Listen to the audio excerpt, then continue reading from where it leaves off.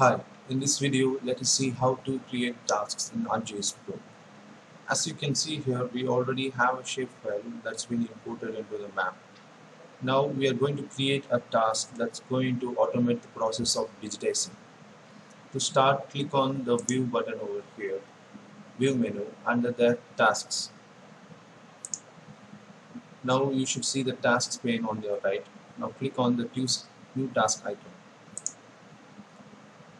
let's rename this as task item and then let's go back to tasks. To create a new task click on new task. Now let's rename this as digitizing. To start editing steps of this task click on the arrow over here.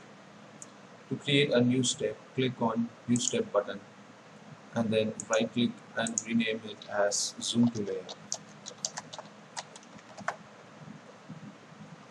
now let's assign some actions to this step by going to the task designer over here. Now let's go to actions. Now to record this step you click this button. And then click on it and right click and click zoom to layer now you see the action has been recorded over here. Now let's go to views. Leave width to the default settings. Let's go to contents. Now here you see what should be visible during this step. Let's make these three layers visible during this step. Now let's go back to tasks and create a new step called digitize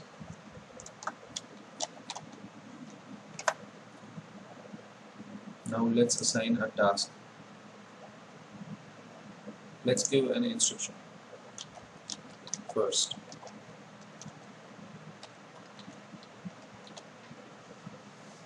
Now let's go to actions and then record the actions to digitize click on edit and then click on create.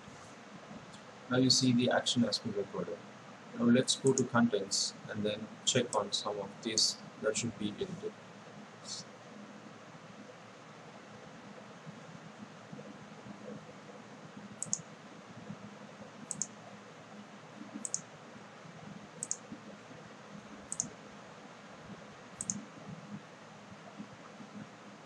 let's go to general and then let's go back to tasks. Now let's create a new step called attributes.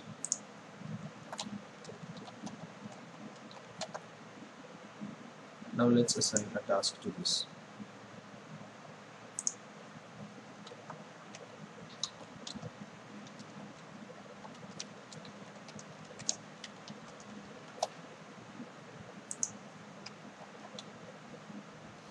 let's go to actions. Before we start recording this let's first create a feature that we can attribute. Now start recording this and click on attributes over here. Now type building. Please make sure to check this apply box and then click enter let's go back to tasks. Now let's create another step to save this. Right click and rename and click save.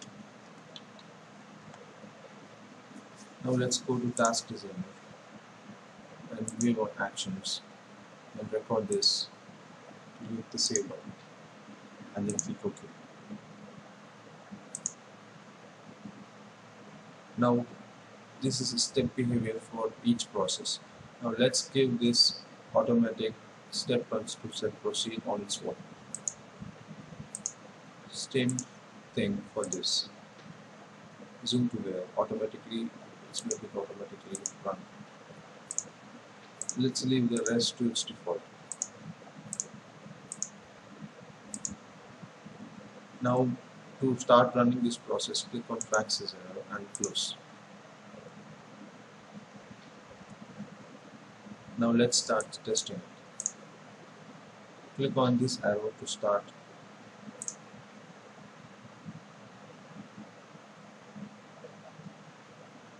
Now you see it has been. Now let's create a feature.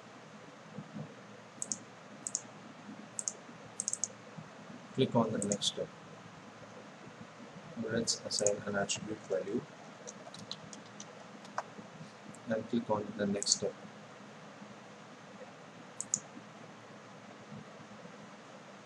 now the process is complete. To repeat this task let's start again right clicking on the digitizing and then clicking on this again.